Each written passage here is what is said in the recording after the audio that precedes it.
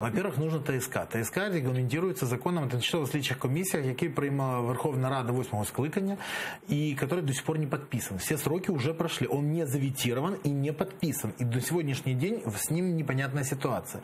Если этот закон не будет подписан и э, мы не будем никаким образом регламентировать действия тимчасовой слідчей, временной следственной комиссии, то, соответственно, мы не можем провести и импичмент. То есть очередной раз у нас не прописана процедура, и у нас отсутствует э, фактически возможность запустить импичмент.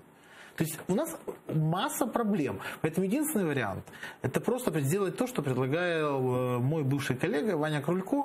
Да, действительно вынести э, из Конституции это решение и снять неприкосновенность президента. И сразу становится все просто. Ух, как вы так все... А вообще зачем Всё начали с этого закона? Да. Насколько важен? Вот Зачем? Вот Чтобы учитывая- поставить точку над «и», чтобы потом говорить, если вдруг скажите, вы же обещали снять неприкосновенность депутатов и президента. Говорит, мы их больше делали. Мы импичмент проголосовали президенту. Подождите, ему скажут, но это же есть уже в регламенте Верховной Рады. Он говорит, вы ничего не понимаете и манипулируете. Как сегодня сказали, народ хочет. Поэтому... Народ хочет уже остановить войну, народ этого хочет.